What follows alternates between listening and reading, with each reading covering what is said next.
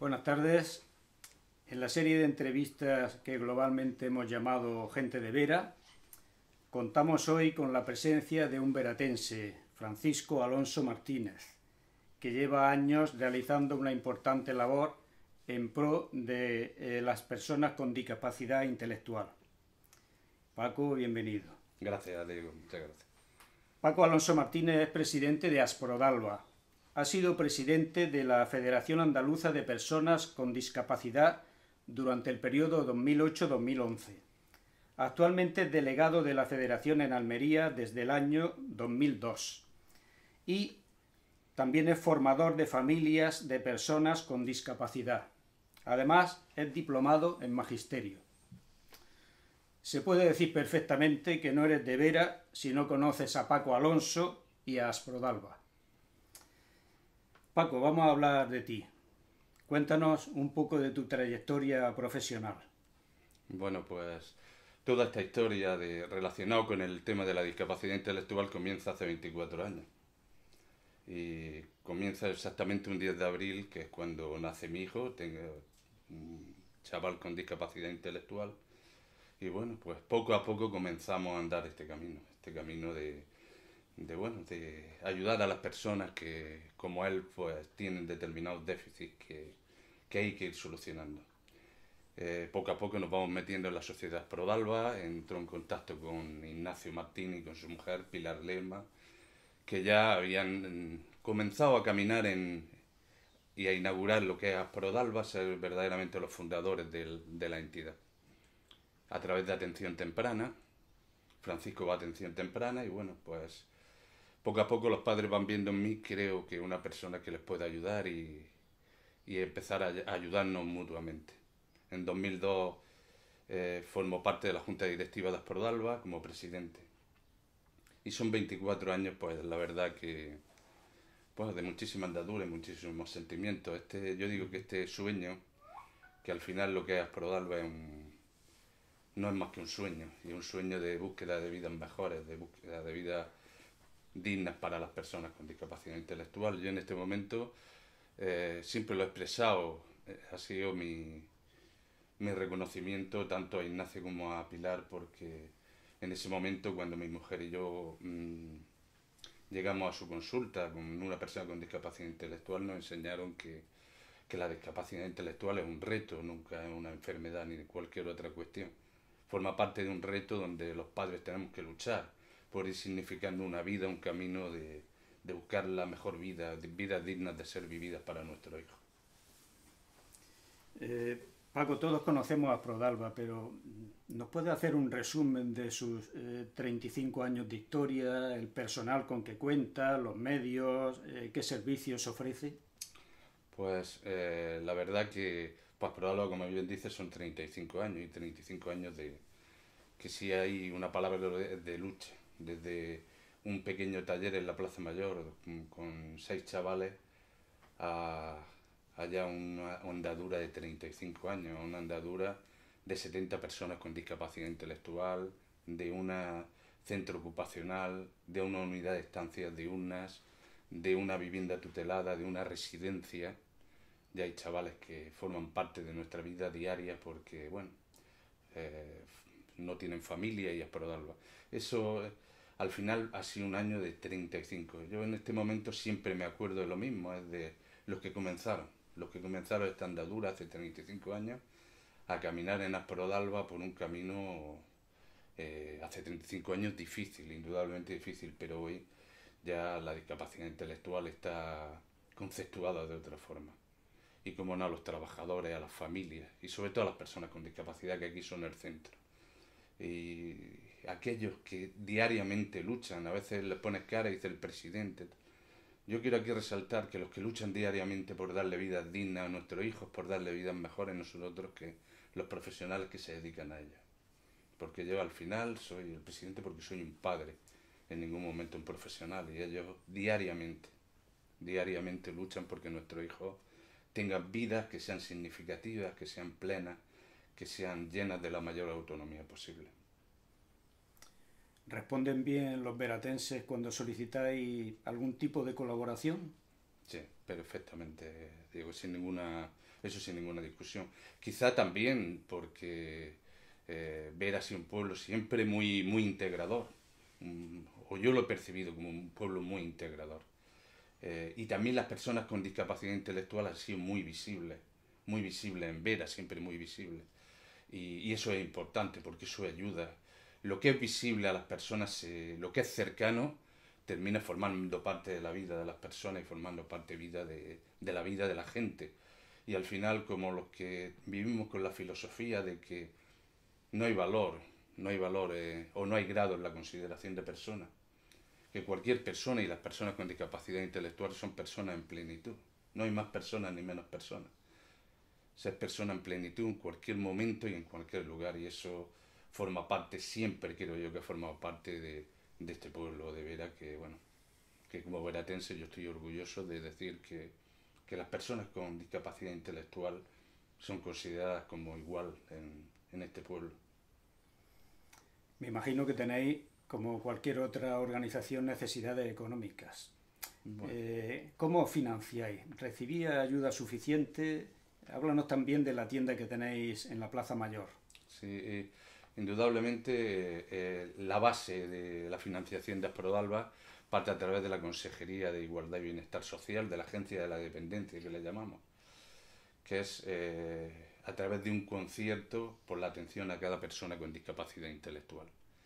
Esa es la principal financiación, pero como se puede imaginar, o nos podemos imaginar todos, no una financiación suficiente, porque, eh, lo decíamos antes, la atención a la persona con discapacidad intelectual ya no va por caminos de asistencia, va caminos, por caminos de inclusión, va por caminos de autodeterminación, de autonomía personal, y eso eh, es mucho más costoso.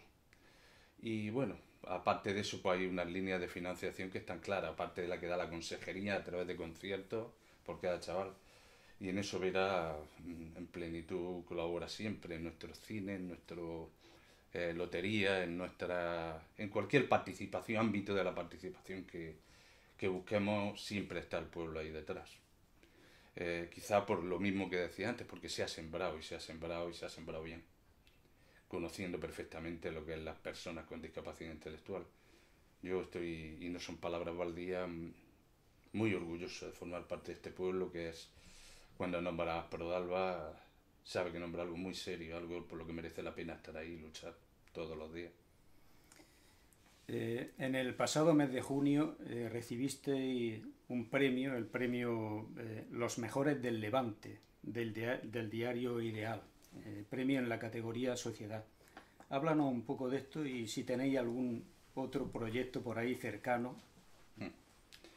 Pues la verdad que ha sido una satisfacción este año. No podemos decir, es verdad que ha habido años difíciles y para probarlo son tiempos siempre difíciles porque nos cuesta, pero gracias al esfuerzo, ya he dicho, de los profesionales pues efectivamente el, diario Ideal tuvo bien pensar que Asprodalba era una entidad que merecía la pena ser reconocida como los mejores del Levante.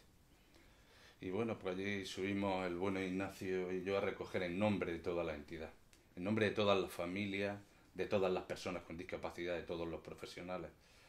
Y yo creo que a lo que allí Diario Ideal premiaba era pues mm, una trayectoria de 35 años, que no es poco, mucha gente ahora tiene sensibilidad por las personas con discapacidad intelectual, pero eh, estar luchando en un camino que siempre hemos llamado una Prodalba, ese largo camino desde la patología a los sueños, desde cuando nuestros hijos eran considerados enfermos, la discapacidad intelectual no es una enfermedad, a los sueños, a los sueños de conseguir vidas mejores, de conseguir vidas plenas. Eso era lo fundamental.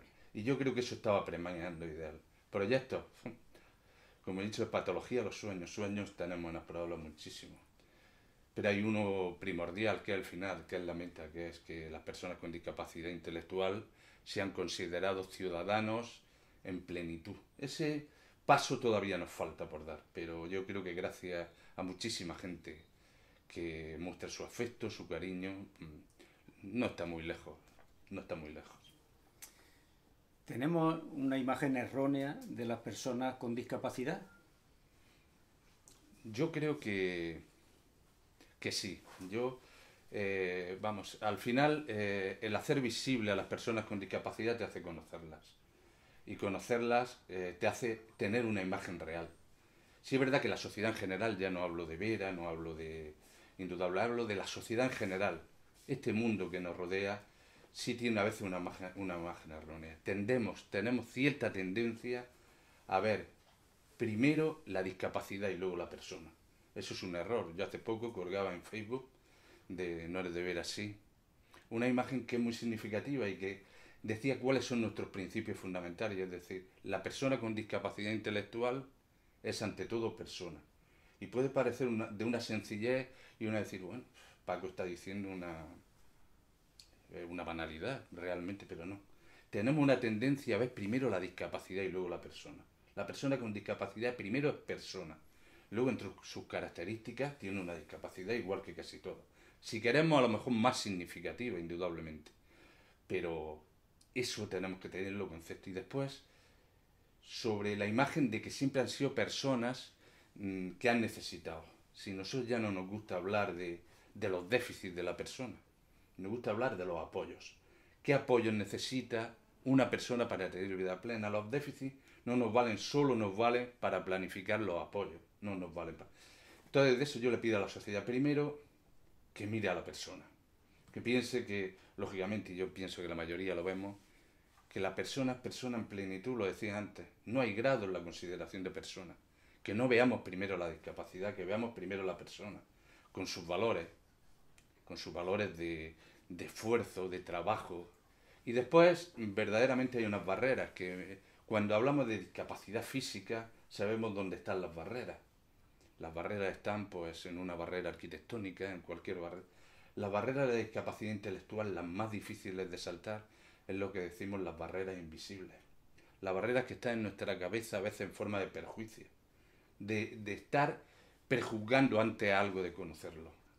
Y esas barreras mentales que nos hacen pensar en, en imágenes que no son reales son las más difíciles de saltar, pero poquito a poco. Hay algo que a las personas con discapacidad intelectual y, y a Sporodalba como tal le perjudica mucho. Es decir, eh, nosotros decimos que la lástima es muy difícil luchar contra ella. Es un sentimiento que e, es, es inerte, es neutro, no tiene sentido, o sea, tener lástima por una persona. Tú si toda preocupación nos lleva a una acción, si frente a la lástima no ponemos derechos, no ponemos inclusión social, no ponemos no vale de nada su sentimiento. Contra el rechazo sí sabemos luchar cómo. Luchamos con derechos, luchamos haciendo visible a la persona. Yo digo que la persona con discapacidad no hay por qué tenerle lástima, en absoluto. Ese es un, un ese que ha hecho mucho daño. Es decir, que lástima, lástima de nada. Es persona como tú y persona como yo. Han mencionado el término inclusión social. Eh, ¿Qué se puede hacer para intentar mm, esa inclusión, para reducir la distancia entre la situación actual y, el objetivo. Sí, ahora mismo eh, mm, la transformación de centros ha ido caminando hacia lo que antes decíamos la asistencia, asistir a la persona, ayudar a la persona. Ahora lo que es la atención a las personas con discapacidad, que en Asprodalba está pivotando en tres términos que son fundamentales, que son derechos, porque la ONU dice que que las personas con discapacidad intelectual tienen déficit de ciudadanía, lo cual no es que tienen menos derechos. Menos derechos escritos, no, menos derechos ejercidos. Indudablemente la autodeterminación, que la persona ya decía por sí mismo y un concepto para mí mágico, que es la inclusión social. Y la gente las podemos volver un poco, y esto hay que aclararlo bien, un poco, dice, bueno, antes hablabais de normalización, luego de integración, luego, hay una diferencia sustancial, es que la inclusión social, la integración es estar con los demás, mientras la inclusión social es un salto más sustancial, es estar con los demás pero en condiciones de igualdad, igual que los demás. Entonces, sustancialmente, integrar es llevar al grupo, estar con el grupo, compartir con el grupo, pero si compartimos y estamos con el grupo en condiciones de desigualdad, en condiciones de estar apartado, estar con ellos, pero no estaremos haciendo una verdadera labor social estar incluido estar con la sociedad en condiciones de igualdad. Bien, Paco. Eh, ¿Te gustaría transmitirle algún mensaje a los veratenses que puedan estar viendo esta entrevista? ¿Quieres añadir algo más? Sí, bueno, que al principio cuando me preguntaban la andadura de 24 años, bueno, 23 en realidad, de presidente de Asprodalba, luego llegaba una delegación, cómo te va atrapando esto poco a poco, la vida de las personas con discapacidad intelectual. Y luego, pues bueno, tuve la satisfacción de estar presidiendo la federación durante tres años. Que, que la gente puede pensar que, bueno, que los chavales aquí en Asprodalba están, bueno, pues trabajan, van eh, haciendo una transición a otro, de unos servicios a otros, se van complementando. Que aquí los chavales vienen a, forjarse un futuro, a forjarse una vida y que ellos, siempre Asprodalba ha estado formando parte de, de, lo que es Vera, pero también de lo que es todo lo que es Levante, Levante almeriense.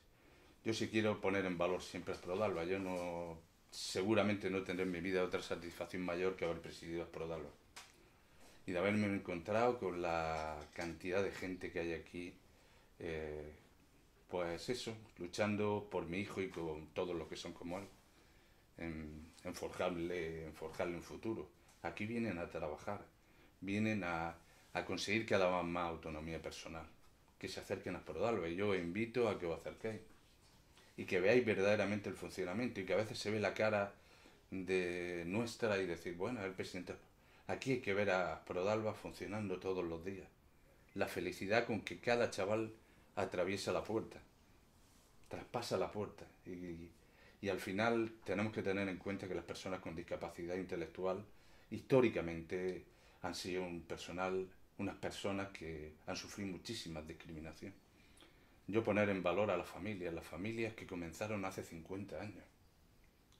Y hace 50 años yo muchas veces digo que estar en, si somos capaces en un tarro acumular el sufrimiento que llevan familias de hace 50 años, simplemente luchando, simplemente luchando porque su hijo tenga la misma aspiración que, que los vuestros, que, el, que tengan vidas dignas de ser vividas, vidas mejores.